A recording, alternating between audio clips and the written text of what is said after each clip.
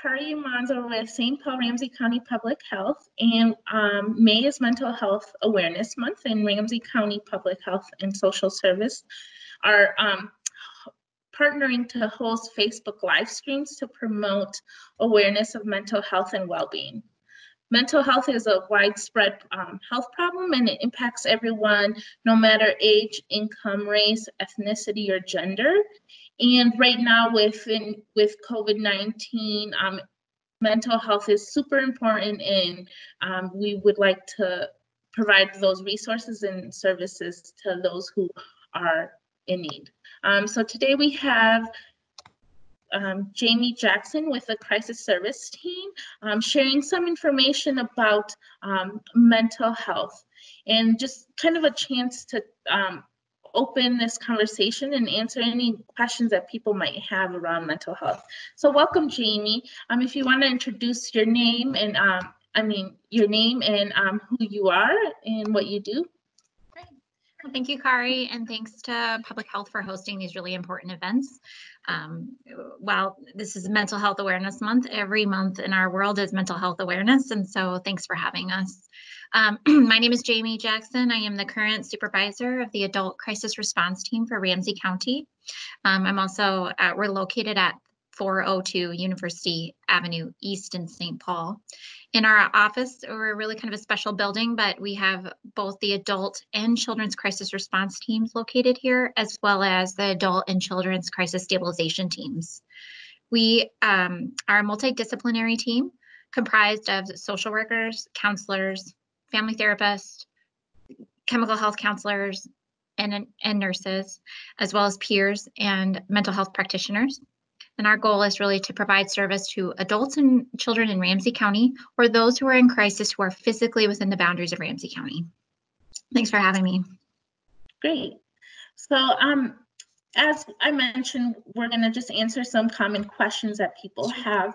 So how is mental illness defined by your team? Well, we kind of look at mental illness um, as a medical condition that typically um, when symptoms are high, disrupts a person's thinking, feeling, moods, um, and ability to connect with others and their daily functioning. Uh, we view mental illness as very common. Um, typically, one in four people in their lives experience a mental illness, and so we um, we see a wide variety. Um, we don't uh, kind of view it as imaginary or a character flaw. We view it as a medical condition. And that being said, that is a medical condition, it's very treatable.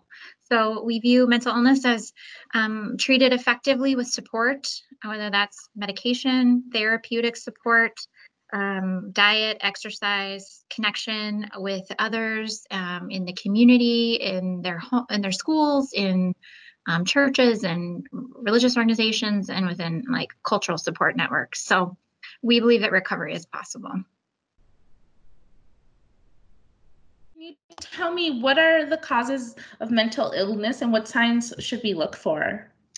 Okay, thanks. Yeah, we uh, there's a a lot of literature on what might cause mental illness, but typically, when in our experience in crisis services, what we see most often um, are um, the, the, causes are a lot of times related to trauma. Um, sometimes traumatic events can really trigger um, kind of trigger symptoms. Um, there's also a lot uh, uh, to be said about chemical imbalance, that there are chemical and biochemical changes um, in the brain, and that can really play a role. Um, there's potentially a genetic, a genetic component um, wherein that some uh, we see mental health issues that run in families. So a lot of times we talk with um, people who call in about their family of origin and what um, they might have uh, experienced as uh, in have experienced in their lives. Um, and then there's always the environmental component, which is um, what people are exposed to. Um, have they been ill in their life? Yeah, are chemical health uh, playing a role, drug or alcohol use, and, and the development of the brain in, in utero. So those are some causes. Um, and what well we we ask about that we talk about that. Really what we hope for when people call us and what we talk about is not to be so complex but to just say what's going on with your person and who the person that you care about or that you're calling about? What changes in behavior are they like are they seeing? And because we work with children and adults, those things can be very different. What we see for kids, for example, because they're still developing in their brain and learning um, about thoughts and feelings and communication, that oftentimes what we hear from families is that there's a lot of behavioral changes and a lot of behavioral issues. Um, kind of some examples of that. I'm, I'm going to use my um, cheat sheet here, but like changes in school performance. And now that COVID's happening, it could be complications with distance learning. Um, maybe there's excessive worries or anxieties uh, communicated by the child. Maybe they are of like fighting to avoid school or uh, fighting to avoid routines that they're normally uh, used to and and hadn't fought in the past. Um, some kids experience hyperactive behavior. Um, others frequent nightmares. Um, a lot of families talk about kids who are not following the rules or disobedient and and maybe they are also more aggressive or acting out um, and we see a, kind of an increase in temper tantrums with kids. Um, the important thing is that we're looking for the difference in what the family is experiencing and how they view their child and how their child is behaving differently so that's really important. For adults typically uh, we could see a variety of symptoms, but a lot of times the changes are the person's more confused. Um, there's been some extreme mood changes um, in or behavior changes. Um, maybe that looks like uncontrollable highs or uncontrollable lows. Um, the the feelings might be prolonged, so they might be going on longer than usual. They might be more irritable or angry for longer periods. Avoidance and isolation is a huge uh, symptom that we we see. Um, are, are people not seeing their friends and family? Are they um, staying isolated in their space, in their rooms? Um, and then there are things like excessive use of alcohol or drugs more than normal. Um, it could look like multiple uh, report of physical ailments or aches and pains that don't really um, have an origin that anyone knows about. Um, more high risk symptoms could look like um, perception or when person start uh, has a hard time perceiving reality. Maybe they're having delusional beliefs or they're hallucinating. Um, they're seeing things or hearing things that other people don't see or can't make sense of. Um, and then finally eh, with adults but also with children at any point a person has thoughts to harm themselves or others. That's a, a clear sign um, a, a warning sign and things to look for for families you mentioned that like um if a person's behavior is different from their normal side self that's kind of a crisis. How does your team define crisis? Is that some a role? Yeah i, mean, I think objectively as a community we can say you know when a person's going to hurt themselves or someone else that is a crisis. Mm-hmm. um, and so that's aside our teams tend to view crisis though as from the eyes of the individual. So what might be a crisis for you or me is different but they're uh, no matter what it's to be treated seriously. So essentially what we um, want to communicate to the public is that uh, the crisis is in the eye of the beholder. And um, when kids are in crisis or parents are in crisis, the family is typically in crisis. And that we don't require specific things before we get involved. We actually prefer to work with people before the crisis escalates to the point where the family system is really um, struggling or uh, where they're the person's at risk of intervention, whether that be from law enforcement um, through uh, you know something happening in the home or um, high level care like hospitalization or corrections like that's one form of treatment but we want to get ahead of it before it happens. We want to make sure people stay supported in their community, that they are um, able to access resources from their home um, and do so in a voluntary way. So we we do really prefer that people call us. It doesn't have to be a crisis. And what can people expect when they call you? Like, um, how are how do you provide services? Well, we primarily like the two, main way that people access our services is that we have a 24 hour 365 day a year phone line for both children's crisis and adult crisis and so a lot of times people do just call mm-hmm. um, you when you do call you can expect to talk to a human being we don't have automated answers um, if you other than if the, the agents are all busy at one time, you might get a little message saying, hey, thanks for calling, but um, please hold. Um, so that you would have access to a mental health practitioner or professional, um, and they can expect that we will he- listen to what they have to say, um, kind of ask direct questions, um, some identifying information. We really want to be respectful and and use people's names as they wish to be called. We also, um, because it, things can escalate quickly, we want to make sure that sometimes we're able to act get to the person. We primarily serve Ramsey County residents, but if you're physically in the boundaries of Ramsey County, we are your crisis program. If you were calling from outstate, we would quickly get you connected with the team that would be closest to your home. They can expect that we'll ask pointed questions, provide psychoeducation, um, and primary and connection to resources um, that make the most sense for their needs, um, but also make the most sense for their um, spiritual and cultural and language needs. And Jamie, right now with COVID nineteen and the stay at home, are the are the services that your team provides is that available right now? And how Yeah. does that look like? Absolutely. The phone lines are open, still answered. We also provide both in-office assessment at 402 and also community mobile assessment. So typically, additionally, people can expect that we do ask questions about COVID symptoms.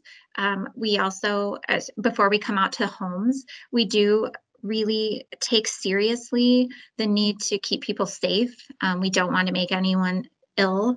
Um, we do wear protective clothing or masks and gloves, you know, if we come out to the home. Um, and we offer that to clients as well if they would need. We do have some um, connection with those kinds of uh, supports. But um, yeah, we are, we're still operating almost as normal. Um, with the exception that we do that extra screening. Um, we are focused more on connecting people within the community and trying to prevent higher level care um, or unnecessary use of ERs um, be- because of the, the strain on the system right now. I should also say, I forgot to mention, Kari, but if people don't speak English, um, that's okay. We can still serve them. We our brochures that we have are, are written in a variety of languages, and we can make sure to mail those out to anyone that might need them. But also, if the person is calling and English is not their first language, we have staff on hand that do speak uh, language like Hmong, Spanish. We also have an Arabic speaker on the children's team. And then if there's other languages, because Ramsey County is so diverse with so many different groups and language needs, we just would require the person to just be able to say the language that they speak. Then we will get a phone interpreter. If we need to do face-to-face assessments, we do our best to have a, an interpreter on hand as well. Great, that's really good. Um, and how do you know that all your services are successful?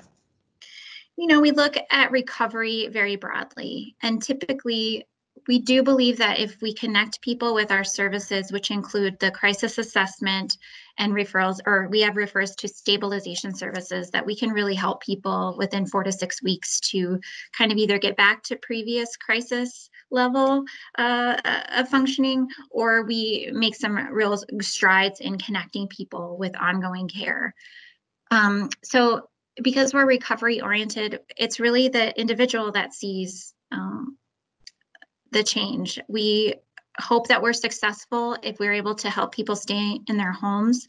Um, that's adults and kids, that we're able to connect them with providers to treat the symptoms um, in the most responsible way that we can. And then we really can consider it a success if we can avoid high level restrictive care, um, such as hospitals. And um, so it's it's important to us that we we work with the families, we work with individuals um, to try to see what their goals are for recovery and and strive to meet those. Well, thank you, Jamie, for taking time to do this stream and providing um, very useful information and resources. Before we end this, um, are there any other options of support available? And can you share the number of um, the crisis line? Absolutely. Um, I will actually even um, send, there's, there's a number with COVID um, happening that we have a number of extra supports. So um, we have the children, the adults at 266-7900, and we have children's at 266-7878. Um, with embedded within our team right now, we have um, what's called the mental health first aid line. And so these are uh, people that are answering calls that are just support needs, maybe not crisis, but you can also get that uh, service at if you just call these two numbers. Um, there's text lines. So if texting is your mode of communication and you need help or you're not able to call, but you can text, um, we'll make sure to have this information included uh, under the video.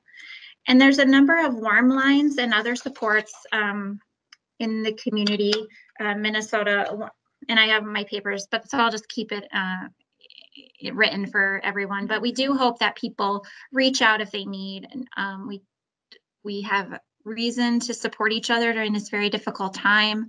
The challenges that we're seeing right now is related to isolation and lack of connection. So if there's anything that we can do to facilitate connection for people who are needing it, we can do that. Um, we really hope that the public will take advantage of these great services that people have worked really hard to create during this really um, this interesting and terrible time.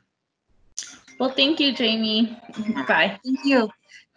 Appreciate you, Kari, and Public Health. Thank you so much for uh, including us in this Mental Health Awareness Month um, program. Okay. All right, so.